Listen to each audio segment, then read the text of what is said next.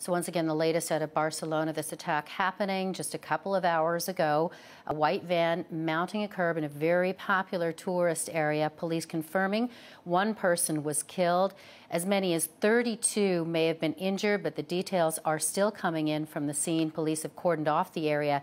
They are calling this a terrorist attack. Okay, Marco Vicenzino is a global risk expert and the director of Global Strategy Project. Uh, tell me a little bit about your thoughts this afternoon now that they have called this a terrorist attack? You know, you broadly speaking, you break it down to three broad categories, possibly more, arguably. First one being, in this case, it may appear to be a lone wolf. Lone wolf radicalized online, loner individual, different reasons, some internal, some external influences uh, that may decide to take on an attack. And once again, to get a truck to ram into a crowd doesn't cost much money. It's a, fairly cheap way of doing it, and you can get you can get global headlines. Uh, so that's sort of the second category would be individuals who may Europeans possibly who may go out into the field and have training, uh, direct involvement in the conflicts in Syria, Iraq, come back home on their own and set up operations, decide to do something. And then third, you have these individuals, perhaps Europeans or individuals from the region who may have gone to Europe with direct uh, guidance and leadership and manage directly from the region itself.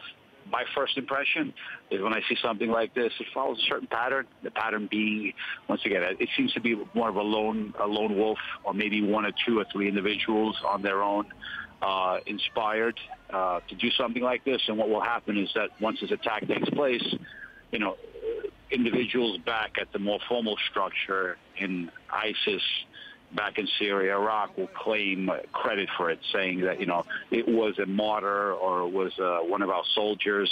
Uh, really, they had no direct contact with the person, but they'll claim the fact that they inspired that individual and claim credit for it. So I think it would be more in the first category at the present time. Once again, I'm speculating. We don't have the facts fully, but it would seem to be more of an individual, one or two, that an inspire, a lone wolf. Uh, that's been radicalized one way, either online or through various means this is a whole new world that you know we're getting accustomed to right now, particularly in Europe. North America, obviously, there's I think there's, there's much more. There's been far more results and achievements in terms of combating this. Ge- geography obviously plays a part. Europe, you know, in recent years, you had the flood of refugees over one, two million coming from Middle East, crossing from Turkey into Greece and throughout Europe.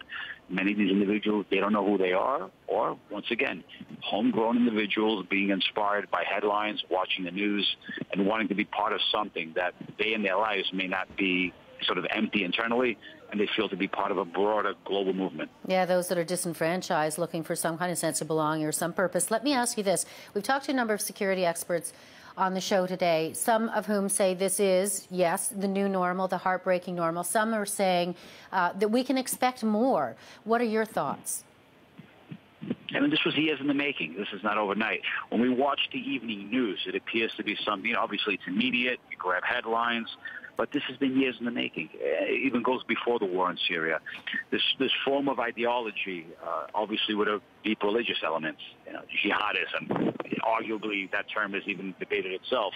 This has been years in the making. So you may defeat an Al Qaeda, you can defeat an ISIS, but this will morph into different forms over time. And this is for the foreseeable future. This will take place. Mm-hmm. Uh, it's not something that can be defeated just through conventional means. There's an uh, online front, a psychological front. Uh, there's several layers to this conflict. You use the term asymmetrical. Probably it's a broad term, but it explains the complexity of this war. It's not conventional, traditional uh, conflict. Right, right. This is on various fronts. Okay, Vicenzino, uh, Marco Vicenzino, we're going to leave it there. We've got some new information coming in, but I appreciate your time. Thank you. Thank you.